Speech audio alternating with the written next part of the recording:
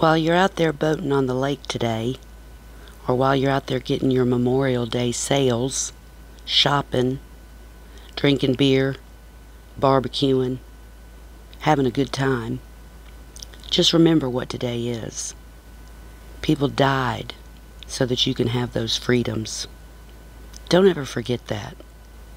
Don't ever forget this beautiful, amazing country that we live in. She's ours, flawed and all, but she belongs to us. Have a good day.